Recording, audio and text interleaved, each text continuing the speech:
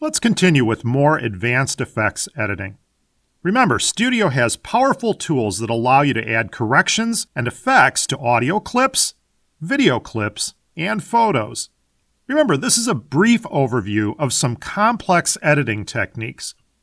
These and other advanced concepts are discussed in greater detail in Complete Training for Studio, which can be purchased from the web store. As we learned in the previous chapter, if you double click a clip in the library, you'll have access to corrections.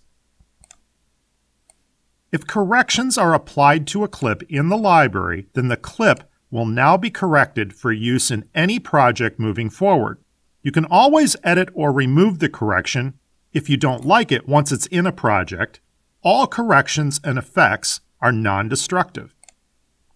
Let's look at the workflow for a classic photo pan and zoom effect used in many documentaries and movies where you'd like to give movement to a static image.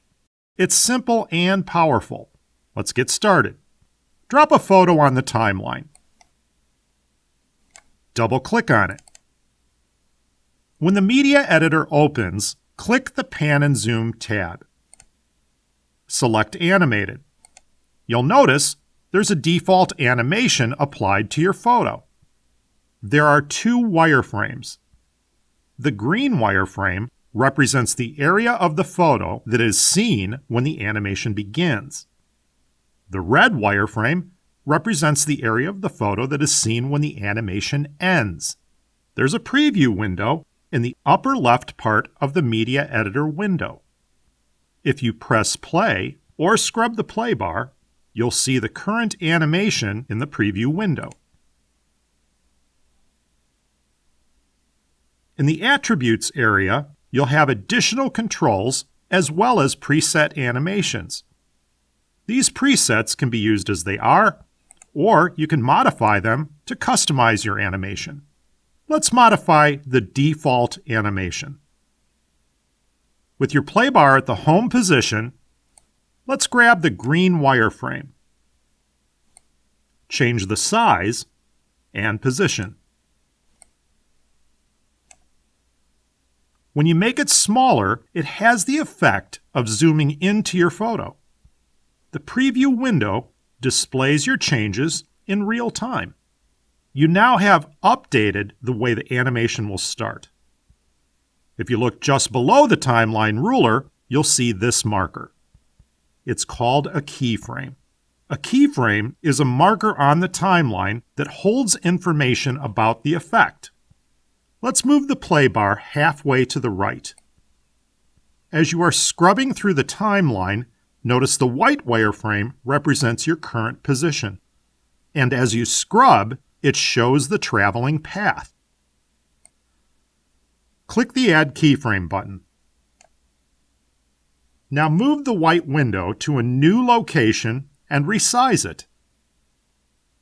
You will see that we're panning and zooming differently now as we have added and modified the existing keyframes. Let's move the play bar to the end. The original keyframe is still there, so let's modify this one as well by changing the size and location of the red wireframe. That's all there is to it.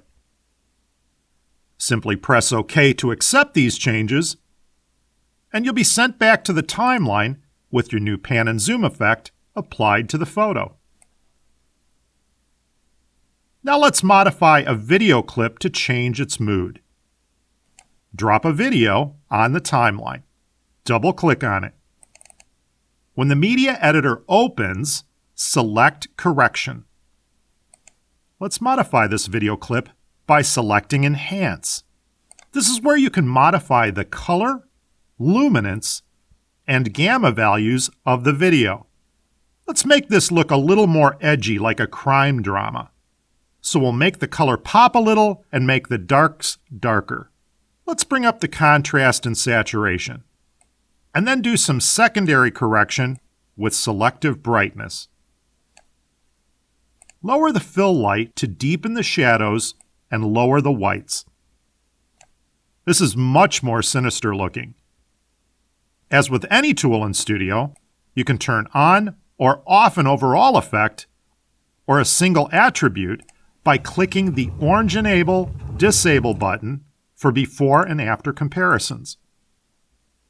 Remember, you can also find loads of color effects under the Effects tab.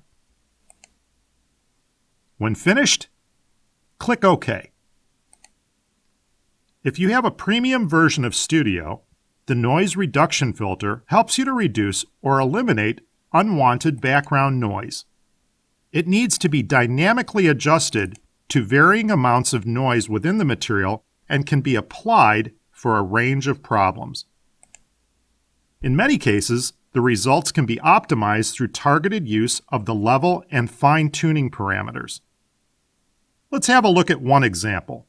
An outdoor recording with the subject too far from the microphone, which leads to excess background noises such as camera operating noise or wind. It may be enough to obscure sounds of interest such as the subject's voices.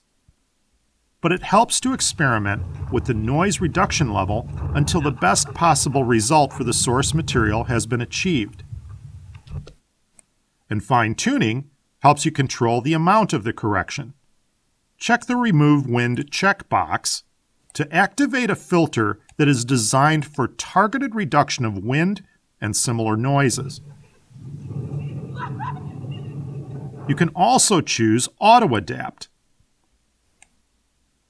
While this option is active, noise reduction automatically and dynamically adapts to the type and intensity of noise in the material. As with any effects creation, there are unlimited possibilities. With Studio, you now have the power to create your own unique look and style and fine tune audio and video to its best. Hello, I'm Paul Holtz from Class on Demand. This introductory chapter gave you a quick look at the creative power and flexibility of Pinnacle Studio 16. If you'd like to learn more about creating your movies with award winning pinnacle technology trusted by millions of users worldwide, then order your copy of Class on Demand's complete training for Pinnacle Studio 16 on the Pinnacle website. On behalf of Pinnacle and Class on Demand, thanks for watching.